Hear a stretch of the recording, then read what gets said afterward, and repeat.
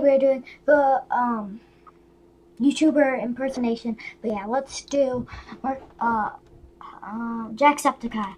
Top of the morning, ladies. My name is Jacksepticeye. Top of the morning, ladies. My name is Jacksepticeye.